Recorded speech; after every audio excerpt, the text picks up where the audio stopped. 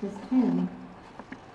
I watched Jesus' followers bring his limp, lifeless body into the tomb that dark, stormy Friday.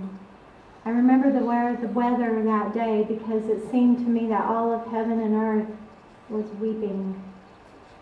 They carefully laid his body in, on the stone table inside the tomb, but they were unable to prepare the body properly because the Sabbath would be beginning soon. With great effort, several people rolled me in front of the opening and sealed me tight, making plans to return on the first day of the week to apply the oils and the spices to, my, to that body.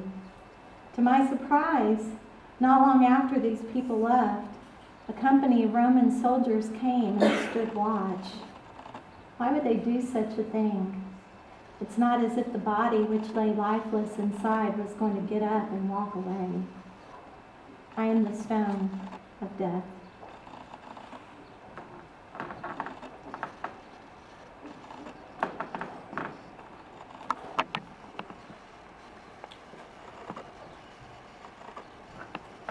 We now invite you to stand and we will sing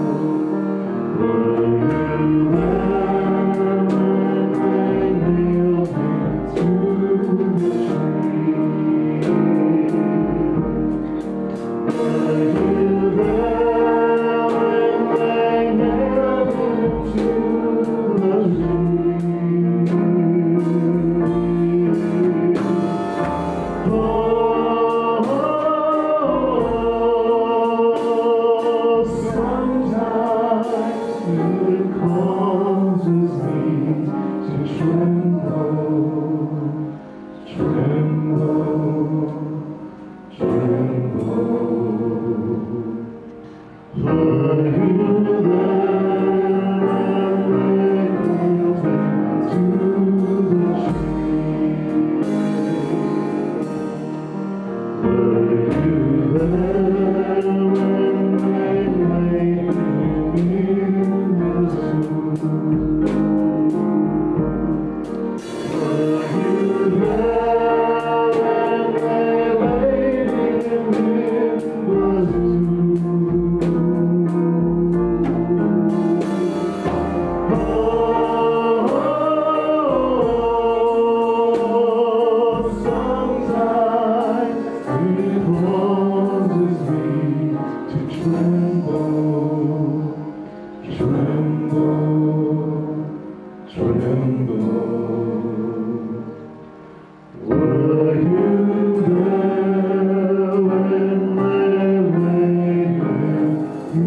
As